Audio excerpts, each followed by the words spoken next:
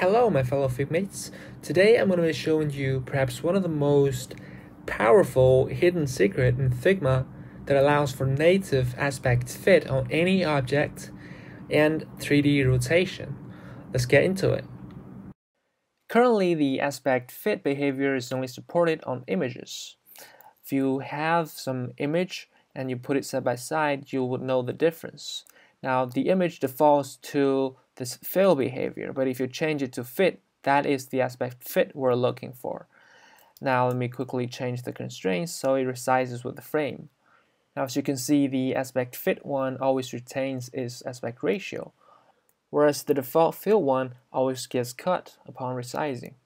Now what if I want this aspect fit behavior on other types of layers aside from images?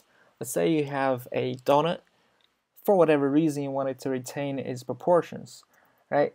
And intuitively you reach out for the constraint proportions button. And you might think that by clicking on that it solves the problem, but the fact that it doesn't. And no, this won't do. Let's reset and start over. This time I'm going to restart by drawing a frame, and inside of there let's put in another frame, set to scale, make it auto layout, and rotate it 45 degrees make it the same size as the container, and turn off clip content.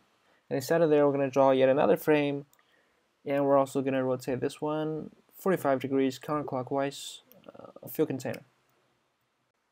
Now let's move our donut to its new home. I'm just going to center it a bit and make sure everything is okay. Now let's see what happens. Hmm, that's better.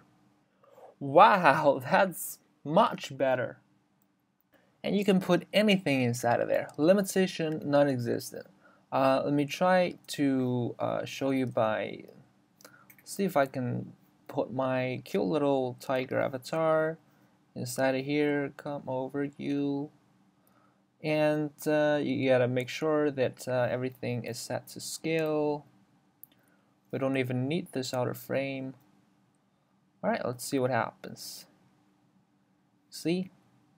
How cool is that? Okay, so all of this requires only one auto layout frame and one regular frame below it, one above it. And the fun doesn't stop there. Because everything is now aspect fit, you can put it into a auto layout group and watch how they behave. Like, uh, for example, Let's make it auto layout real quick. Let's give it a background color so you can distinguish better. Let's put this inside of there as a element. You can duplicate multiple of it and have them fill container and watch how they behave as a whole. That is pleasant, right? And you can even increase or decrease the padding and watch them behave like that. Um, do their own thing. You can use it whenever you want. I've been testing this for two months and now I can tell you for sure 100% bug free, no glitches. Now, on to 3D object rotation. Now, if you made it this far, 3D rotation is actually quite easy. Uh, let's first make sure that everything is set back to square again. And at this point, um, all you need is really just another auto layout frame to wrap around this existing one. And uh, so add that and make sure that it's set to scale again and um, the inner frame needs to be set to fill container. And let's uncheck the clip content. And now watch this. 3D object rotation without plugins. I'm going to clear the fill and add a shadow so it's easier for you to see what's going on. I'm going to hide the noise and let's uh, there we go whichever angle you're happy with you can just drag out the innermost frames and that way it will be cleaner on the layer hierarchy. So that's it for today's video. I hope you learned something and I'll see you in the next time. Bye bye